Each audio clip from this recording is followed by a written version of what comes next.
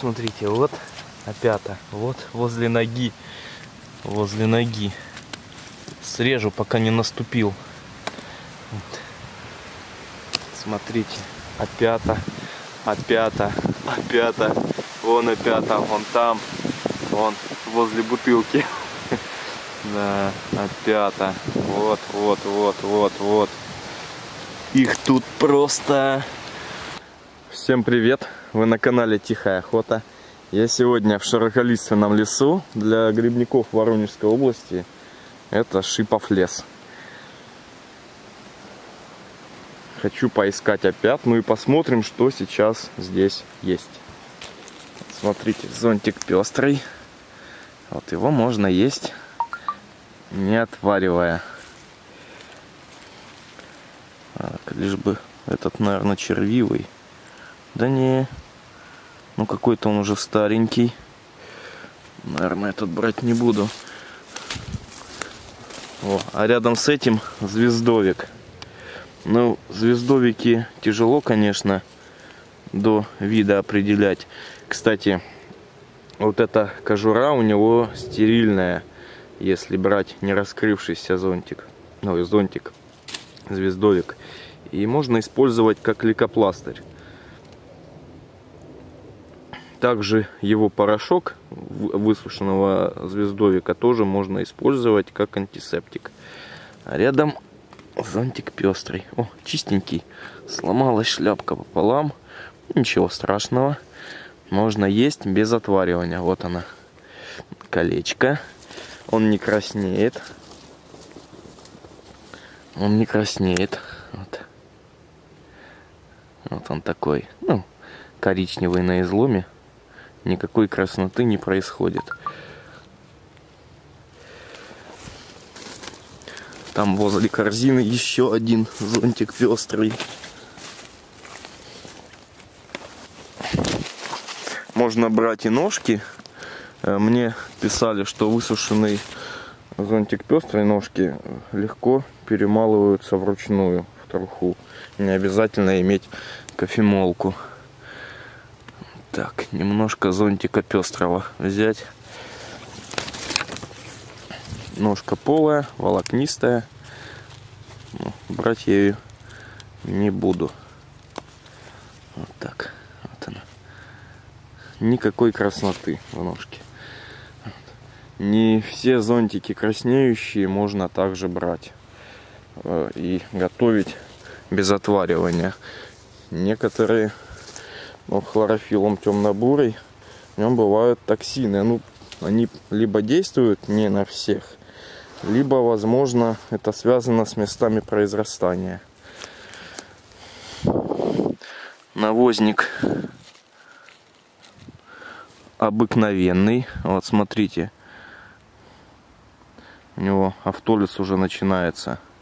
Еще его называют навозником серым. Вон еще парочка таких же.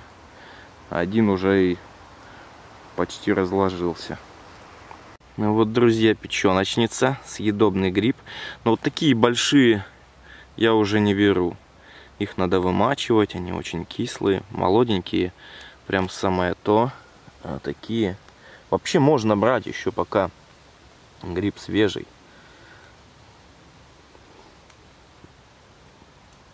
Но я уже их наелся и намариновался, и жарил, и сырыми ел. Надоело. Как и маслята надоели уже. Маслят, я думаю, еще пособираю. А, вопросы также были, на каких деревьях можно печеночницу встретить. Дуб, каштан. В нашей местности это только дуб и каштан. На дубовых каштановых пнях, на дубовом валежники на бревнах, на живых деревьях, на корнях их. Вот они выросли на корне дуба. Вот он, дуб. Вон они, листья дуба вверху. Дерево видно, что больное. Даже веток мало. Смотрите, какой красавец. Пестрый зонтик на длинной ножке. Вот он. Кстати, бывает такое легкое, слегка такое, как буреет, что ли, но оно прям не... Оно сразу просто измененный цвет мякоти. Он сразу не на глазах краснеет, а отламываешь, он уже такой. Такое бывает. Вот. Но это не краснеющий зонтик. Ну вот, смотрите. То есть он не будет краснеть. Вот оно, колечко, не приросшее. Вот. Вот. В ножке не краснеет. Буроватый цвет, конечно, но не краснеет. Вот такой, как э, змеин, змеиный, это змеиный такой цвет ножки, как змеиная кожа, что ли. Такое. Встретился подгруздок белый. Я его уже выкрутил, просто назад вставил как будто так и было. Он уже такой не фотогеничный. Значит, вот у него нет никакого млечного сока. Этот уже огромный такой, э, охристый часть шляпки своей он. Не то, что потерял, она как-то рос, она лопнула, треснула, вот она. Гриб съедобен, причем так как вот грузди млечники, их нужно вымачивать, да, они горькие, этот не горький, его не надо вымачивать. Холодным посолом посолить, так же, как и рыжики можно. И через 3 или 5 дней, когда там просолится он хорошо, можно есть. С ним вообще никаких проблем и заморочек никакой. Горечи ничего не будет. Это подгруздок белый. Вот такой вот тут лес. Кто-то здесь пилил валежник. Вон он. Я вот так вот шел. Вот этот пень лежит. И вот, печеночница здесь прямо выросла. Да. Так что дерево не зря упало это. Его съели. Съел трутовик вот этот печеночница рядом вот тут же ликогала древесинная выросла. Я в прошлом видео про нее рассказывал. Это слизевик. Относится он к миксомицетам. В общем, он не гриб. Кому интересно, в прошлое видео зайдите, я там про него рассказал. Все уже. Вот, друзья, встретился опенок кирпично-красный, еще его называют ложно-опенком, кирпично-красным. Вот такое покрывало под шляпкой. Кирпично-красный оттенок, цвет шляпки. Вот такие вот э, желтоватые, такие слегка пластинки. Они потом бурые становятся, когда высыпаются споры. Вот он тут вырос на пне. Гриб считается условно съедобным, но многие сходятся на том, что он невкусный. Брать я его не буду. Но показать стоит. Если кто-то его пробовал, то пишите в комментариях, какой он вам на вкус. Я хочу поискать просто другие грибы, более вкусные. Тем более у меня уже есть зонтик пестрый. Зачем мне этот гриб брать? Вот тут, кстати, рядом вот гименохета буро-красная на дубовом пне выросла. Вот, старая, сухая. Вот. Можно еще, да, думаю, думаю, стоит показать на разрезе этот гриб. Вот так. Вот так он выглядит.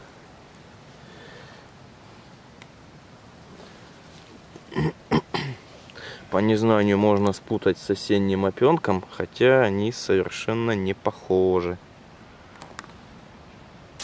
Вот это, друзья, полубелый гриб или желтый боровик химелицинум имполитум.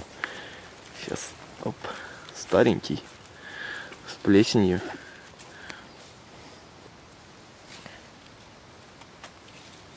Чистый.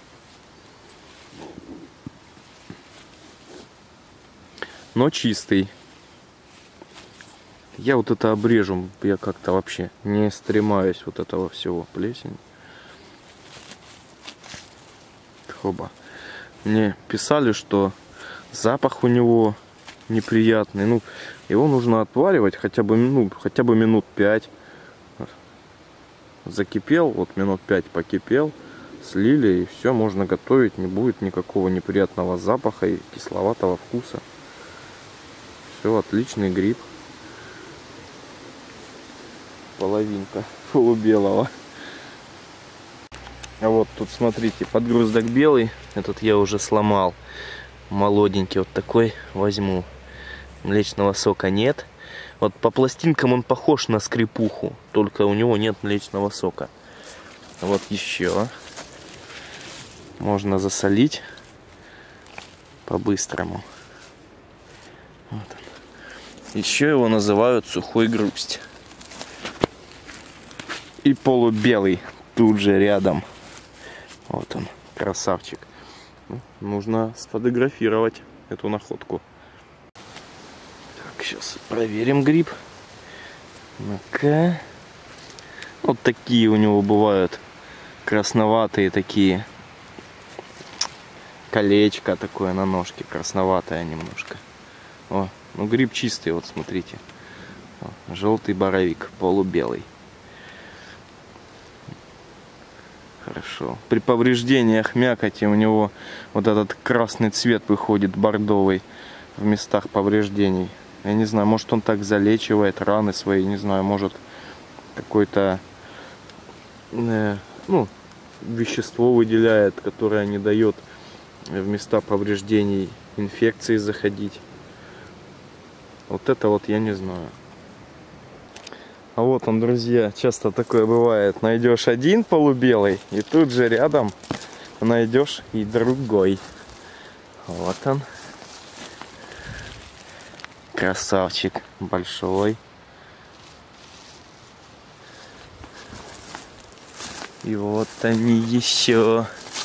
Этот старенький, а эти помоложе два. Хорошо.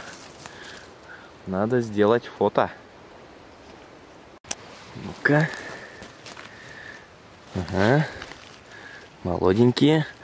А этот проверять даже и не буду, пускай стоит себе.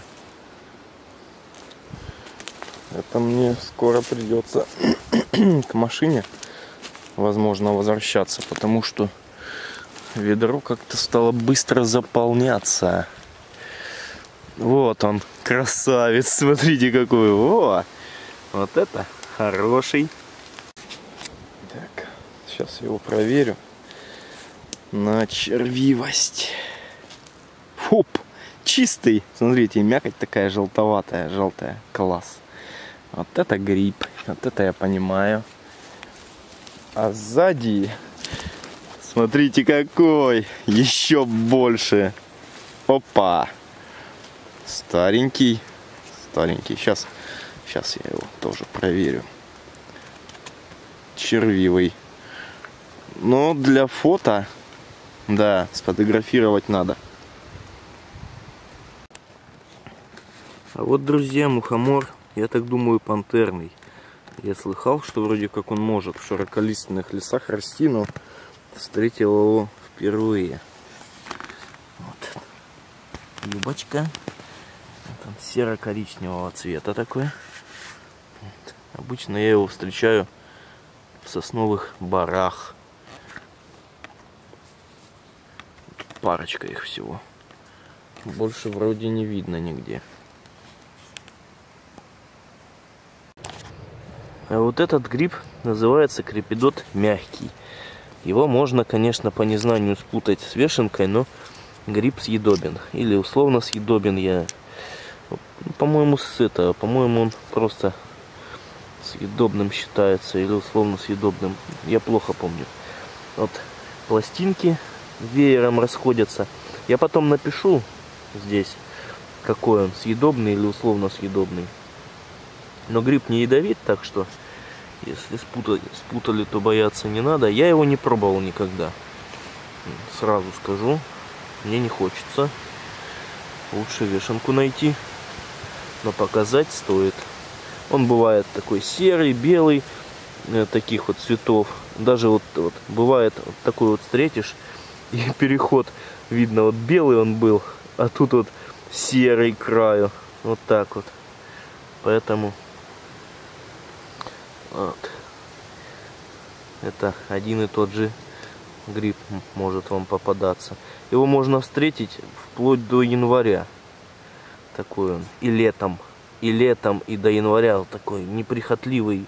Немножко вот, ну, главное, чтобы сыро было, и он, ему температура он переносит. До морозов растет прекрасно. Пока вот постоянные морозы не установятся. Встретилась говорушка восковатая. Вот она с таким она как бы светлым налетом и видно вот коричневая на шляпке. Гриб считается смертельно ядовитым. Сейчас покажу. В общем-то в руки брать не страшно, конечно, но есть этот гриб не надо. Да, в шиповом лесу сейчас сыро. И вот я сейчас иду до того места, где я раньше их собирал, видео снимал потому что ну, дорога очень раскисшая, я побоялся заезжать. У меня автомобиль переднеприводный, двух мостов не имеется, ни Нива, ни УАЗ. Я могу не выехать отсюда потом. И вот по дороге полубелые попадаться стали ну, часто. Да, и это совершенно другое место, не то, где я их собирал до этого. Вот это вот грязь, он не червивый, просто земля попала. Вот я срезал. Вот. Уже я еще не дошел до своего места, а у меня уже пол корзины. А вот это, друзья, похоже на рядовку голубиную. Ну-ка. Сейчас ее проверим. Чистенький гриб. Вот такие вот пластиночки редкие. Да. Возьмем, да, рядовка голубиная. Чуть она такая, ну она не сильно прям белая, чуть желтоватая вот она к центру. Не чисто белая. Пусть будет. Первый раз нашел этот гриб. Красивый. Вот еще парочка. О, какие ноги. У той тонкая, тонкая ножка была, эти красавцы.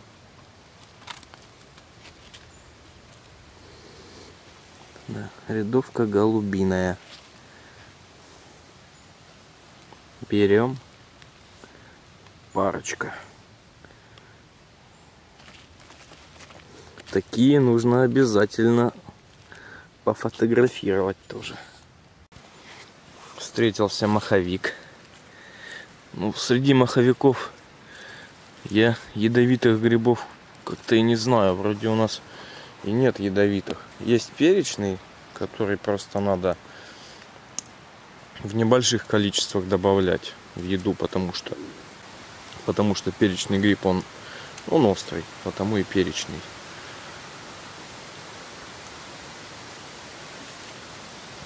в маховиках я не силен в определении. Но вот этот вот не синеет. Мне кажется, это маховик каштановый. Да. Не синеет, цвет не меняет нигде при повреждении. Да, я думаю, маховик каштановый. Вот я уже и на свое место притопал. Вот уже грибы пока шел. И вот он, полубелый. Дождь начался. Но я же, я же не могу взять и уйти, уехать без грибов. В такую даль ехал. Так что надо нас собирать. Вот они, друзья, наросли. Я сюда за ними долго не приезжал. Раз, два, Вон. Вон они. Три. Четыре. А дальше еще, думаю, будут. О, и дождь, зараза. Ну ладно, соберем. Ноги уже сырые. Ох ты! Не. Надо же сфотографировать такую красоту. И вот тот. Красавец. Так. Берем. Второй. О, огромные.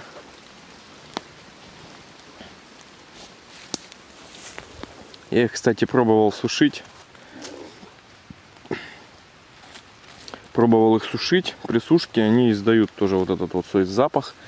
Такой химический. Поэтому сушить желательно где-то в каком-то месте, где вы не будете нюхать их. Ох, гляньте.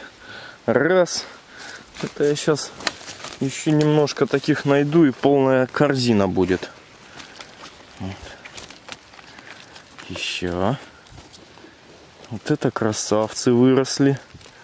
Долгое. О, я думал он развалился. Нет. Он просто рос в неудобном положении. Да. Сейчас еще вот решил поснимать, показать вам рядовку голубиную. Вот как описывается на срезе мякоть розовеет, ну слегка такое вот порозовение, конечно, есть, наблюдается небольшое. Но мякоть белая. Пластинки, вот молодой гриб, видно, что довольно-таки частые. А с возрастом вот такие какие-то они, ну, нечастые, редкие. Но это кажется из-за того, что вот эти вот пластинки, часть короткие стали в процессе роста. Пластинки, приросшие к ножке. Вот пластинки, да. Шляпка не чисто белая, такая вот с пятнышками охристыми. Гриб э, перед готовкой замачивают, а потом снимают пленочку. Кстати, да, вот она снимается легко. Пленка. Рядовка голубиная. Также считается, что гриб этот редкий.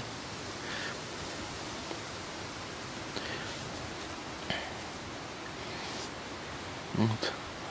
Растет под дубами и березами обычно. Ну, под березами я не встречал еще. Вот под дубами встретились. Да, довольно-таки мощная ножка. Хотя вот и поменьше есть. Надеялся сегодня на опят, но все-таки сегодня день желтых боровиков. Еще вот один. Красавец. Этот постарше, этот помоложе. Третий день желтого боровика. Корзина, корзина будет набита в основном этими боровиками сегодня.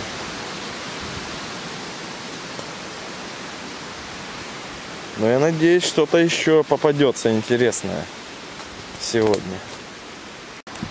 Вот еще рядовка голубиная. Я не знаю, брать, не брать. Я уже вон желтых боровиков набрал. Как-то мне особо и не надо. Тут их оставлю, наверное, здесь. Смотрите, как загибаются шляпки. Вся волнистая, изогнулась вся. Прикольный гриб такой вообще. Вот смотрите, в прошлый раз я, когда был в этом лесу, вот все-таки я был прав. Мне встречались вот эти грибы, только еще мелкие они были. Это гибелома клейкая. Гриб считается ядовитым. Плотная ножка довольно-таки. Вот. Слизистая шляпка. Вот их тут парочка. Вот здесь еще один. Вот. Наросло тут их. Тут их вот даже три штуки сразу. Гриб ядовит. Ну я это надо почитать. Я вот не помню, он смертельно ядовитый или просто ядовитым считается. Но во всяком случае собирать гриб этот не рекомендуется. Так, за ветку зацепился. А? Вот такие вот какие чешуйки мелкие на ножке есть, присутствуют. Запах, ну, такой немножко неприятный, но не сказать, что прям сильно неприятный был, вонючий. Вот такой гриб. А вот смотрите, я вот так вот шел, тут вот корзину я уже поставил, прошел, и вот они, целых два, два желтых боровика. Опа. Ага, закрываем. Хотя сейчас, сейчас очень влажный воздух, дожди. Можно как бы не заморачиваться, не закрывать. Грибница не посохнет. Отлично. Так. Вот. Бывает чуть-чуть краснеет слегка вот срезе, на срезе мякоть у стареньких. Вот так. Два желтых боровика. А вот, друзья, дубовый грусть.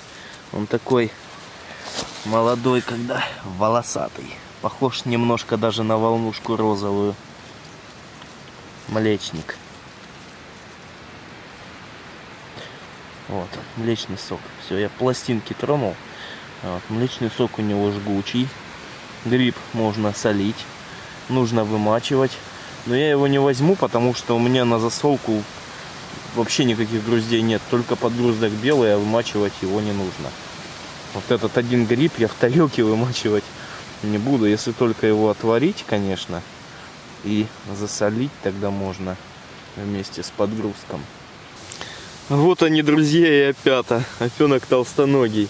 Ну, теперь у меня полный набор. Смотрите, сколько их. Вот так вот они не растут на почве. Толстоногий опенок. А? Дали?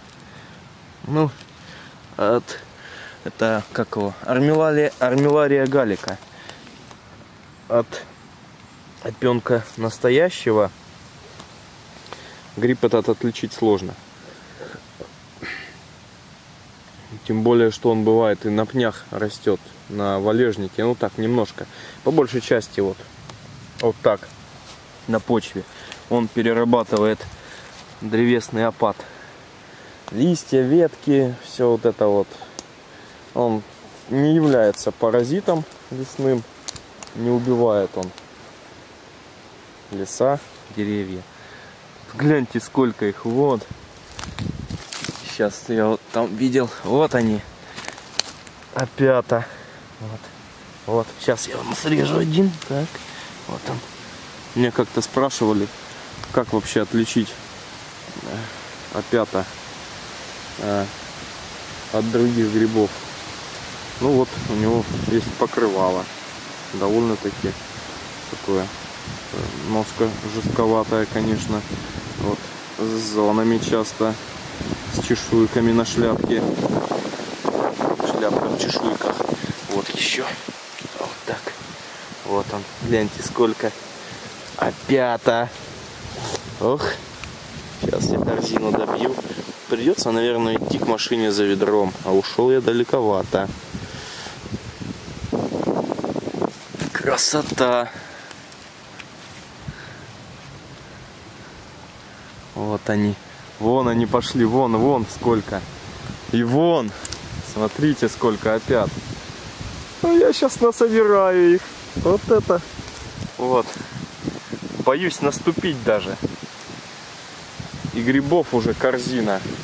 И сейчас еще, сейчас. Ну, сейчас я добью.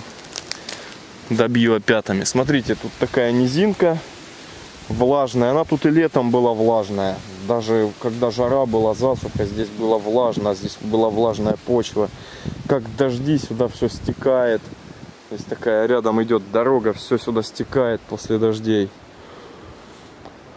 Временами даже лужи сейчас. Через дорогу перейти, там еще лужи стоят. Да, сейчас я тут насобираю.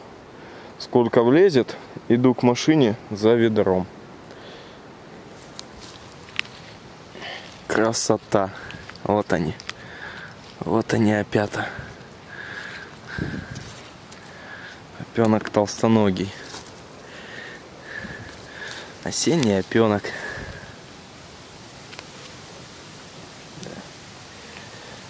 На пнях, на пнях пока опять не видно.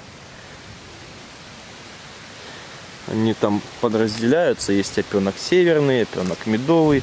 Ну, я так понимаю, у нас здесь на дубах, скорее всего, тот, который медовый растет. Северный он на березах.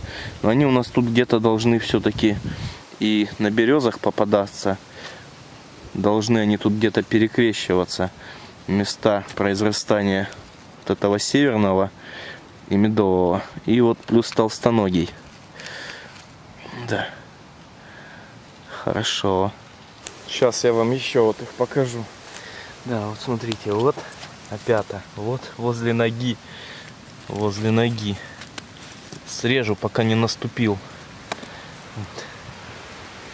Смотрите, опята, опята, опята. Вон опята, вон там, вон возле бутылки.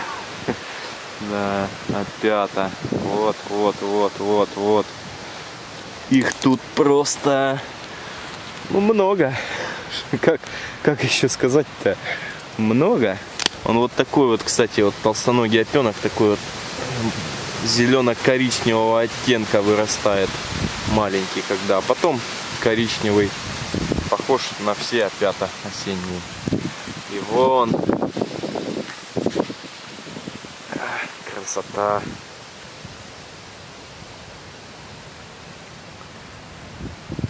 Вот это подарок. Шипов лес дарит такие подарки. Вон они. Вот, друзья, смотрите, о чем я и говорил вам. Вот столько было опять все на почве, и только вот парочка грибов поднялось на дерево. И то, ну, невысоко.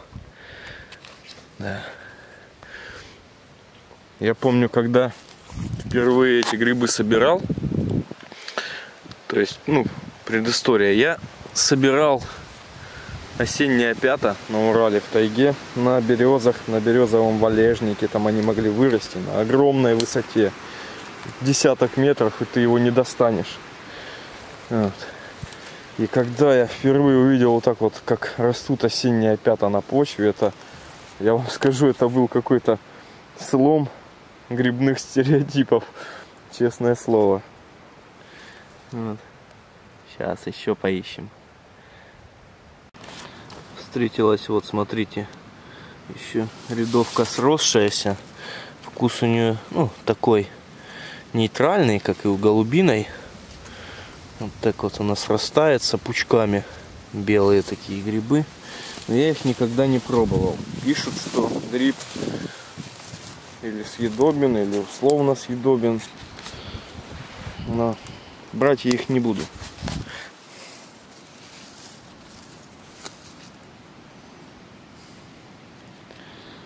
Показать, конечно, стоит. Тут их, тут их наросло. Вот обочина дороги вся заросла этой рядовкой. Дорога такая грунтовая, машины здесь ездят редко. Возле такой дороги грибы собирать можно. Это лесная дорога. Да, ну, их тут сколько. Офигеть, смотрите, как она растет. Вон еще. Вот маленькие какие. Вот они большие. Я все-таки возьму на пробу. Я не знаю, кто-нибудь из моих зрителей, если эту рядовку готовил, то напишите в комментариях, как она вам на вкус. Возьму чуть-чуть. Вот, вот эти грибы возьму на пробу сейчас. Набрежу корешки. Смотрите, как она срастается. Вот. Да. Грибы поперли, так поперли. Всякие разные. А вот он, друзья, зонтик краснеющий. Хлорофиллум рахадас. А то меня уже тут и склоняют, наверное, по-всякому. Я Хлорофилум темно-бурый показывал, хлорофилум оливье показывал, а рахадес со светлыми чешуйками нет. Вот он краснеет. Смотрите. Вот он. Сейчас разрежу шляпку. Покажу вам. Вот он. Сейчас.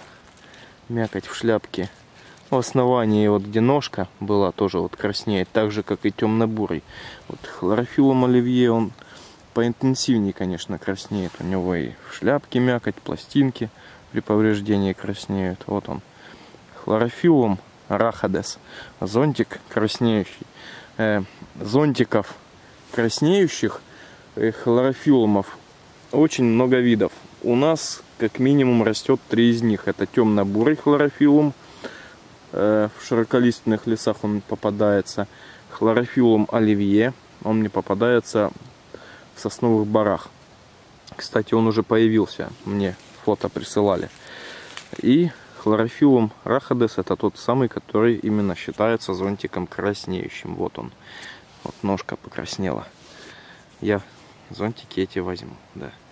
Вот этот зонтик можно и без отваривания готовить. В отличие от темно-бурого. Но с темно-бурым э, в чем проблема? Он в зависимости, скорее всего, от места произрастания, также может и у людей разная восприимчивость может быть. В общем, он бывает токсичен. Ну, токсичен в каком смысле? Проблемы с, ЖК, с ЖКТ, желудочно-кишечным трактом и панические атаки вплоть до галлюцинаций могут быть. То есть это не смертельно, неприятно в какой-то мере, и многие после того, как отравятся им, больше вообще никакие зонтики не собирают. Мне так и писали. Я больше зонтики не беру после этого. Поэтому вот если вы готовите без отваривания этот хлорофилл темно-бурый, то не надо в комментариях э, призывать к этому других людей, потому что ну, у них могут быть с этим грибом проблемы. Вот хлорофиллум рахадес. Кстати, вот тоже двойное кольцо, как и у темно-бурого. Вот там их еще. Вот они стоят. Светлые чешуйки. Даже бугорок у него довольно-таки светлый. Не коричневый, как у темно-бурого. Берем.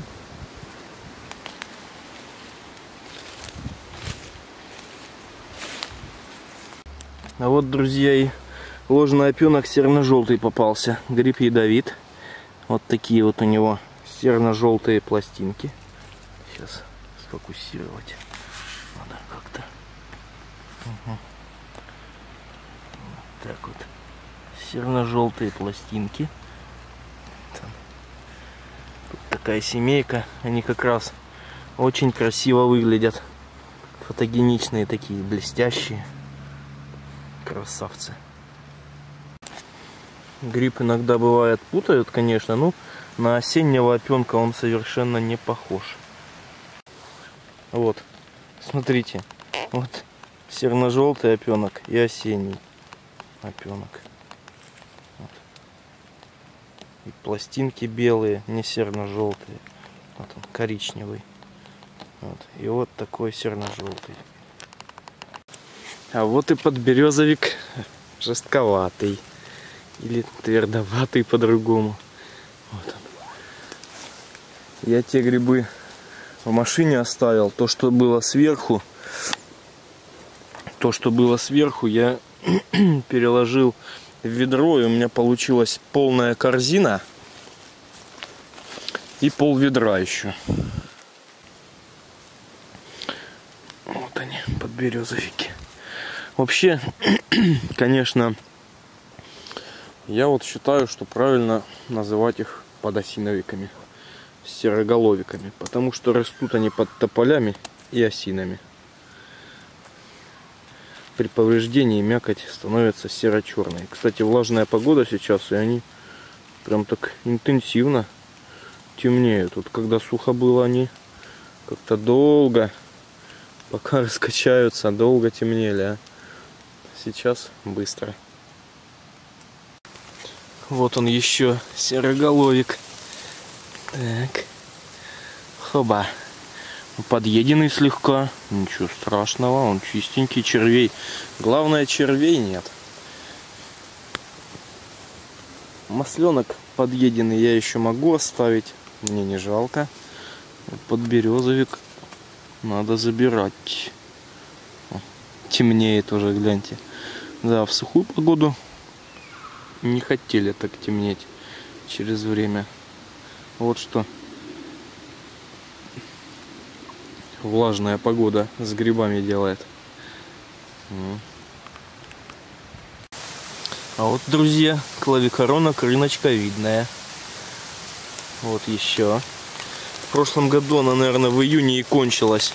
Это клавикорона из-за засухи. Э, есть такое утверждение, что в зависимости от того, на каком субстрате она выросла, клавикорона бывает горькая, а бывает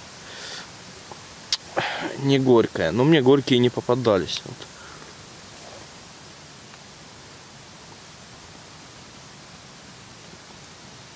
Это тоже не горькая. Я ее жарил как-то. Довольно-таки вкусно. Но сейчас мне и других грибов хватает. Брать не буду. Встретился еще вот мутинус собачий. Гриб занесен в Красную книгу грибов Воронежской области. Э, в прошлый раз сосновом бару, которые мне попадались, скорее всего, все-таки это были веселки, только маленьких размеров. Они были вот такого же размера, как вот этот мутинус. Но какой это вид веселки, я не знаю. Э, веселка обыкновенная просто намного крупнее. Хотя, может, может ей чего-то не хватает, и плодовые тела такие маленькие. А вот это мутинус собачий. Его яйца, кстати, тоже считаются съедобными. Когда мухи объедят вот это вот все, э, зеленую вот эту слизь, он будет оранжевый такой. Даже сейчас вот видно часть оранжевого слоя вот по краям. Мутинус собачий. Эти серно-желтые лужная пята красиво так выглядят. Прям так и хочется сорвать и съесть. Ну, или замариновать, а потом съесть. Но нельзя. Нельзя. Серно-желтые пластинки. Вот так вот.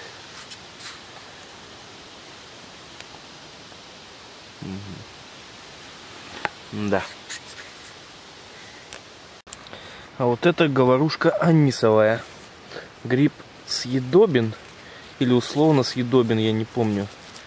Но пахнет она, ну, как анис пахнет, я не знаю. Но запах этой говорушки вот мне лично неприятен. Да. Поэтому я ее не беру. Один запах только отталкивает. Хотя гриб считается то ли съедобным, то ли условно съедобным. Ну, при варке там тоже будет очень сильно ей пахнуть этой говорушкой анисовой. Я ее лучше в лесу оставлю. Пусть тут лежит. Ну, итог, друзья, вот такой. Корзина полная, ведро полное. Еще у меня одно ведро осталось пустое. Я его не насобирал. Просто уже устал из сыра, и ноги сырые уже. Насобирал я желтых боровиков полубелых. Много, больше всего, наверное, их. Осенние опята толстоногие. Вот, смотрите, рядовку голубиную, э, рядовку сросшуюся, зонтик пестрый, зонтик краснеющий, который именно хлорофиллум рахадес, э, сухой грусть, подгруздок белый, сухой грусть. В общем, грибов очень много. Да, много всего сегодня попалось. И кирпично-красный опенок, и ложный опенок серно-желтый. Говорушка анисовая попадалась. печеночницы очень много. Я ее уже не беру, потому что я ее с июля уже снимаю, показываю. Я уже ей наелся. Кто ни разу не собирал, конечно, собирайте, берите. Гриб вкусный, только вымачивать нужно, если большой старый. А если молоденькие, небольшие, так они не сильно-то и кислые. Вот такой вот. А, да, подберезовик жестковатый еще я насобирал. Он тут в ведре на дне там где-то под сухими груздями и под зонтиками сложенный. Ну, сейчас я его достану. Вот, я немножко переложил. Вот они, подберезовик жестковатый. Вот еще они же. Он этот прям активно так уже черноватый такой, темнеть начал. Э. А, еще был дубовый грусть. Одна штучка. Один я взял.